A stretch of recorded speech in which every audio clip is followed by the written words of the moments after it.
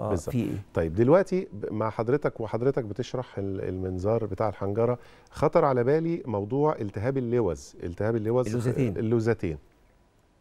هل في برضو جديد في تحديد الوسائل التشخيصية؟ يعني كنا زمان بنعرف اللوز ملتهبه ولا لأ؟ من خلال الايه ال tongue depressor أو خافض اللسان ونبتدي نشوف.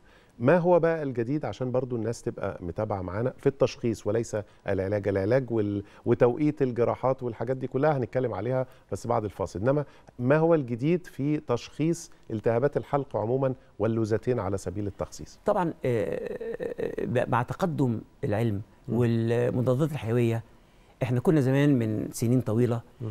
كان المضادات الحيوية مش جنرال زي دلوقتي أيوه بالظبط كانت ال ال ال ال الحاجات المتاحة للعلاج والتشخيص محدودة جدا آه وحضرتك برضو من من الناس اللي البراكتس بتاعك آه. أكيد, أكيد. آه، حسيت طب بت... بت... كان حصل التطور تطور. جامد في آه. ال... و... فقلت قوي نسبة الإصابة. زائد الوعي طبعا آه، برضو زاد جدا عند الناس وابتدوا برضو ياخدوا بالهم مم. من إنه آه، ال- ال- الالتهابات دي بتتنقل إزاي وإزاي نبعد عنها مم. آه، التهابات اللوزتين عادة بتتشخص زي ما سعادتك تفضلت يا إما بالكشف أيوه. كده أو إذا إذا إحنا شكينا في حاجة أكتر من التهاب فيروسي أو بكتيري آه. بنقدر دلوقتي بنعمل آه، آه، مسحة آه. وبنوديها المعمل وبيطلع لنا بالظبط الميكروب آه.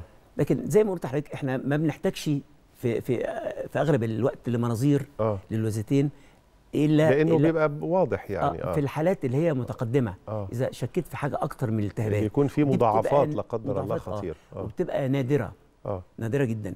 ولكن أغلب المضادات الحيوية ال broad spectrum دلوقتي أغلبها آه، بتأثر على معظم بتغطيها. أنواع البكتيريا. وأحب أقول للناس يعني في نقطة أنت ساعات تصحى الصبح تلاقي زورك كده مش مظبوط. أيوه بالظبط كده. آخر نهار واحدة من الاثنين يا إما تلاقي نفسك سخنت وزورك بيوجعك قوي أو تنسى الموضوع ده خالص أيوة. في المرحلة الأولى ال- ال- الميكروب اللي جه كسب جسمك آه في المرحلة الثانية في المرحلة الثانية لا انت جسمك كسب اللي تفوق الميكروب عليه المناعة. تفوق عليه و- وخلص عليه وانتهت آه، وده وده بيقودنا لحاجة مهمة قوي يا آه. دكتور ماجد معنى كده إن لما نقوم من النوم وإحنا مثلا نحس بحاجة في الحلقة أو حاجة زي كده أيوه هل المفروض إن إحنا ما نسارعش وناخد أي إجراء طبي أو. ناخد أدوية أو كده نسيب الجسم يخوض معركته على الأقل لليوم الأول ده زي ما يعني. حضرتك تفضلت آه حتى إذا أنا حبيت إن أدي لل- للطفل ده آه. أدوية آه أنا بديله أدوية بس مش هتقتله 100 في... لازم أديله برضه فرصة للمناعة لأن بالظبط. أنا اذا كنت كل مرة الولد آه، يدفى شوية مم. لمدة ساعتين ثلاثة آه. وأديله مضاد حيوي آه حيعت... حي... حي... جسمه هيتعود عليه ومش و- هيبني مناعته بالظبط كده مش هيبني مناعته طبعا فأنا الأول بعالج الأعراض إحنا أيوة. بنعالج أعراض أيوة. يعني؟ ماله سخن شوية آه. منخفض حرارة مم. آه صعوبة في البلع طبعا. مسكن أكيد وهكذا مم.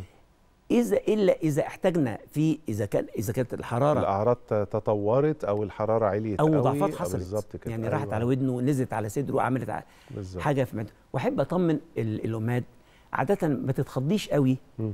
من الحرارة العالية. الح... ما فيش حاجات بت... بت... بترفع درجة حرارة الجسم أمراض فوق تسعة ونص أو 40 إلا الزور أغ- أغلب حاجة ز- الحلق. بالظبط كده فهي بالظبط. لما تلاقيه آه، 40 حرارة يعني ده آه، غالبا من الحلق. آه. وما بنحبش بقى نسيب الطفل عنده حرارة أكتر. من 38 طبعا. دايما. لأن ده حالة إجهاد كمادات. طبعا. كمادات و... وسوائل.